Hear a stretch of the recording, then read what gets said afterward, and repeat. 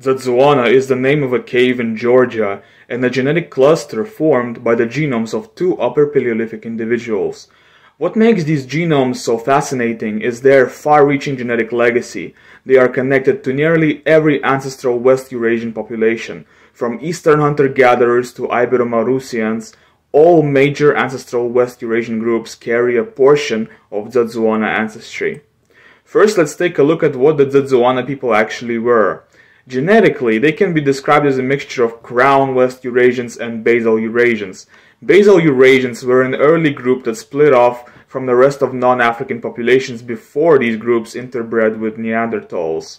To estimate Basal Eurasian ancestry in Dzudzuana, I use qpAdm. The key is to anchor Neanderthals in the model and introduce a left population with no Neanderthal ancestry. In this case, the Mbuti, pygmies serve as a proxy for basal Eurasians. According to this setup, the Kotias individual shows about 26% basal Eurasian ancestry, while the Dzudzuana individual shows about 28, both forming part of the broader Dzudzuana cluster.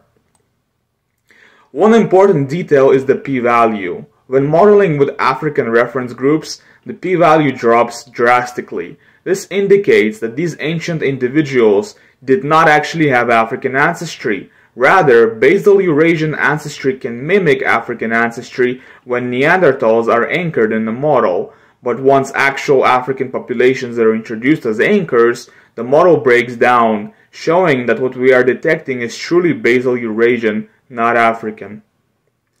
I made some qpAdm models where I attempted to estimate Dzudzuana ancestry in various Eurasian populations. You will be surprised by how widespread it is. Here I modeled Ibero-Maurusians as 76% Dzudzuana and 24% ancestral North African, Basal Eurasian, and Sub-Saharan African.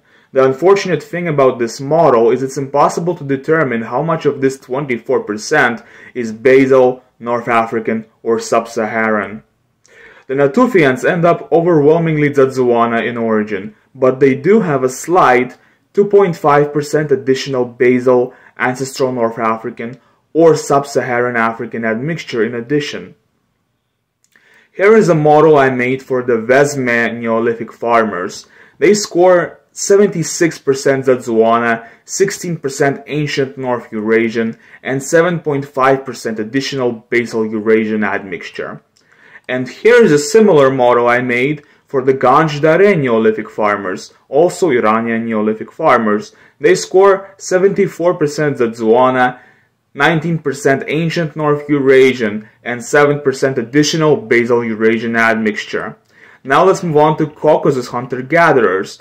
The Mesolithic Kotias individual has 82% Dzudzuana, 16% ancient North Eurasian, and around 2% additional basal Eurasian admixture.